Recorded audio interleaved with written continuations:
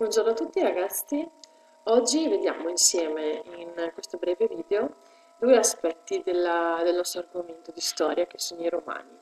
Il primo riguarda la prima forma di governo che ebbero i romani, che fu la monarchia, e poi eh, il secondo argomento che vediamo insieme è come era strutturata la società eh, romana dell'epoca quindi le varie classi sociali e come interagivano tra di loro. Okay? Quindi partiamo proprio dalla monarchia, la prima forma di governo di Roma.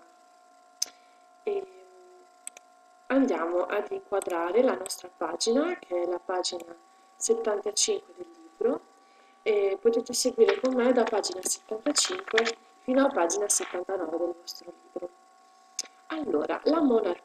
Innanzitutto ricordiamo eh, quando ci fu questa prima forma di governo e cosa vuol dire. La parola monarchia deriva, deriva dalla parola monos, che vuol dire uno. Quindi monarchia e archia è potere, quindi il potere è di uno. E quando c'è un monarca, quindi un re, si parla di regno o di monarchia. E che aspetti ha avuto la monarchia a Roma? Innanzitutto non è durata a lungo per essere un periodo storico, è durata soltanto 244 anni. Infatti si va dalla fondazione di Roma, quindi dall'anno eh, 753 avanti Cristo, avanti Cristo, fino alla cacciata dell'ultimo re quindi il superbo, che ci fu nel 509 a.C. Quindi, calcolando dal 753 a.C. al 509 a.C., potete farlo anche voi, eh, trovate che la monarchia a Roma è durata soltanto 700, 244 anni. Um, sono due secoli e mezzo circa, in cui si sono succeduti diversi re. La storia ce ne riporta però soltanto eh, 7 ecco qua vedete. Soltanto eh, 7 re. In realtà mh, mm, questi re probabilmente sono stati il numero maggiore ma 7 sono quelli che la storia ci riporta quindi che le fonti eh, storiche ci riportano probabilmente perché eh, ognuno di loro ha portato una novità a Roma. E, ehm, quali poteri avevano i re a Roma? Innanzitutto il re era un'autorità importantissima eh, che aveva nelle sue mani ben quattro poteri. Eh, quindi poteva decidere eh, pressoché tutto ciò, tutto ciò che riguardava la vita pubblica. Aveva il potere di stabilire leggi, il famoso potere legislativo, potere di eh, scrivere le leggi, legislativo. Poi aveva il potere di guidare l'esercito, quindi aveva il potere militare, era anche la massima autorità religiosa, quindi aveva il potere religioso e infine amministrava la giustizia, quindi aveva anche il potere giudiziario. Quindi ben quattro poteri. Potere legislativo, potere mm, militare, potere religioso e potere giudiziario. Capite benissimo che una persona che aveva un potere così grande andava in qualche modo illimitato, altrimenti avrebbe potuto benissimo diventare un tiranno e non essere più un bravo re. Per aiutarlo c'era il Senato. Il Senato era un'assemblea formata dai capi delle famiglie più importanti eh, le famiglie importanti a Roma si chiamavano patrizi, erano le famiglie più ricche, quelle che avevano eh, i terreni e i greggi. Quindi eh, il re era aiutato dal Senato. Senior, la parola senior eh, significava anziano. Non pensate che il Senato fosse formato da persone mm, molto anziane, perché all'epoca eh, l'età era molto più breve della, di quella che si raggiunge ora e quindi in Senato gli anziani erano coloro che avevano più di 46 anni. Ora fa un po' ridere chiamare anziani queste persone. Tuttavia all'epoca era così, quindi il re aveva questi quattro poteri e il Senato eh, doveva limitare, quindi supportare l'azione del re. Ed era questa assemblea dei capi delle, delle grandi famiglie. Oltre a controllarlo, avevano anche il compito di scegliere il nuovo re. Quindi ricordate bene che la carica di re non era una carica eh, ereditaria, cioè un re non faceva diventare re il proprio figlio, ma alla sua morte era il Senato che decideva il nuovo re. Andiamo ora insieme a vedere quali eh, sono stati i famosi sette re di Roma. Il numero 7 eh, per i romani è molto importante perché già sono sette colli di Roma in più eh, sette sono stati i re di Roma. Andiamo a vedere insieme quali sono stati e perché eh, è, è, importante ricordarli, o comunque perché la storia eh, ha fatto giungere i loro nomi fino a noi. Il primo è il famoso eh, re leggendario mm, che è Romolo. Perché è un re leggendario? Perché eh, non si sa ancora bene se eh, questo re eh, sia esistito realmente, se questo era il suo nome e, e se la leggenda abbia effettivamente un fondo di verità. Ma noi lo ric- è passato alla storia comunque come il primo re. Romolo primo re. Romolo ha un'origine latina. Latina. Mi raccomando.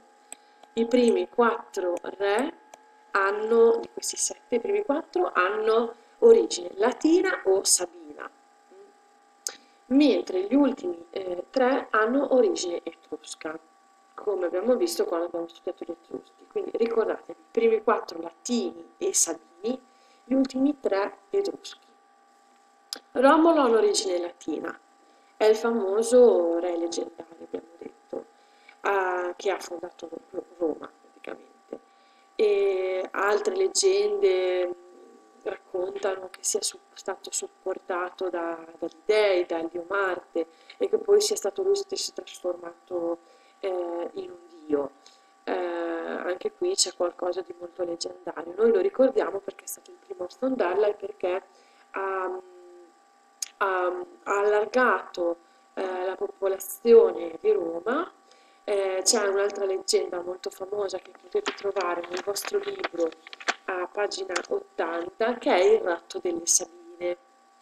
E andiamo anche noi velocemente a vederlo.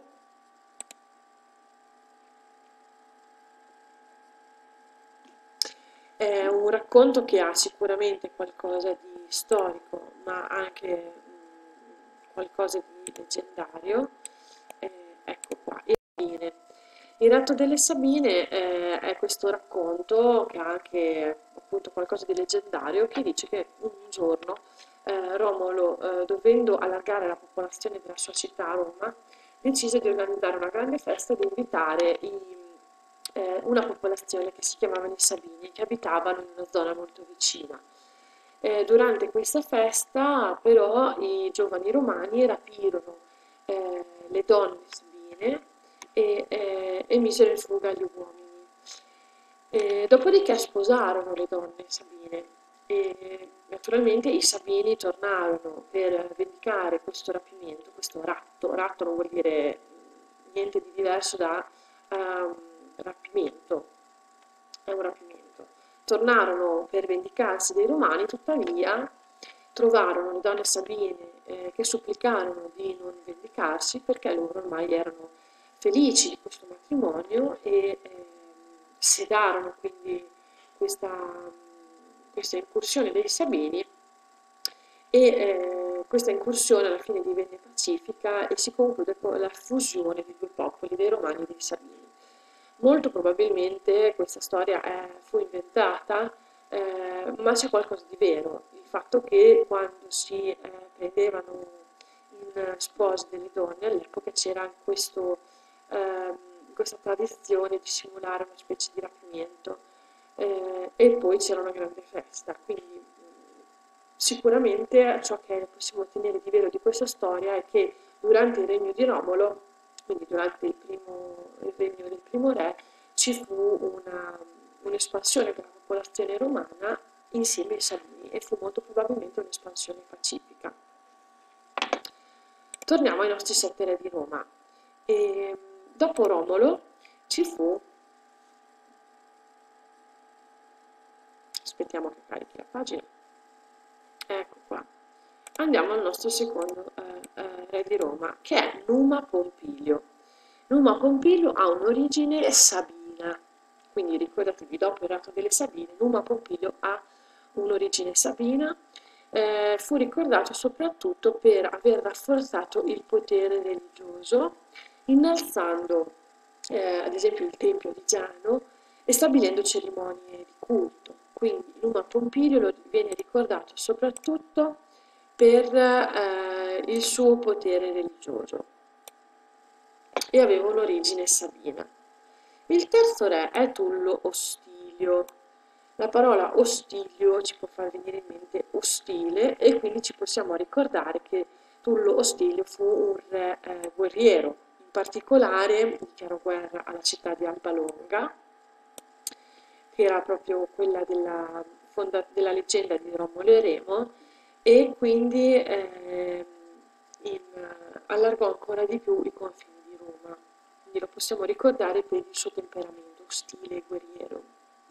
Il quarto re di Roma è Anco Marzio, di origine eh, sabina.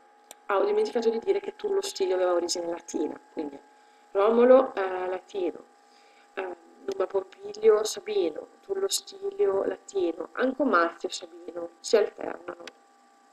Di origine sabina, eh, fu ricordato per la sua attività commerciale, il fatto che fu il primo probabilmente a mh, costruire il primo ponte sul Tevere, che era il ponte Sublicio, un ponte all'epoca molto arcaico, fatto di corde, di legno, ma che permise l'attraversamento del Tevere, quindi il collegamento con altri villaggi, altre popolazioni con cui eh, i romani iniziarono a commerciare. Andiamo ora a vedere velocemente dove si trova il ponte Sublicio a Roma, grazie al nostro eh, Google Earth. Andiamo a cercare ponte Sublicio a Roma. Eccolo qui, il ponte Sudicio. Vedete, oggi è un ponte molto più eh, resistente di quello dell'epoca. Eh, dove si trova? Eh, ci interessa sapere soprattutto questo. Allora, questa è la famosa isola Tiberina, la prendiamo sempre come punto di riferimento. Questo è il Colle Palatino, quindi il primo colle su cui è stata fondata Roma. Qua c'è il Colosseo, lo vedete quindi il ponte Sublicio è vicino a tutta questa zona del Colle Palatino, vicino al, al, al luogo della prima fondazione di Roma. Ora torniamo al nostro libro, quindi ricordiamoci in fila, ripetete con me, Romolo, Numa Pompilio, Tullo Ostilio, Anco Marzio, sono i primi quattro re di Roma. Ora velocemente andiamo a vedere invece gli ultimi tre re di Roma che hanno un'origine etrusca. Tarquinio Prisco, Servio Tullio e Tarquinio Superbo. Tarquinio Prisco, Servio Tullio, Tarquinio Superbo. Tarquinio Prisco, Servio Tullio, Tarquinio Superbo. Importanti perché hanno dotato Roma di famosissime infrastrutture come il Tempio di Giove Capitolino, il Circo Massimo, che era praticamente uno spazio per divertimenti, per le corse, che eh, è ancora oggi presente, ci si fanno dei concerti. Il foro principale era la piazza dove si prendevano importanti decisioni politiche, la cloaca massima era la prima rete di fognature. Ciò eh, ci ricorda tantissimo l'importanza e eh, lo sviluppo di questo tipo di infrastrutture già eh, nel, nella popolazione degli Etruschi. Servio Tullio fece costruire una grande cinta muraria intorno a Roma, Tarquinio Superbo fu l'ultimo re, fu cacciato perché molto violento, non rispettò i patti eh, con il proprio popolo e quindi fu molto odiato dai romani e così anche cacciato e con lui ebbe fine eh, la monarchia e fu poi in seguito instaurata dal Senato la Repubblica Romana.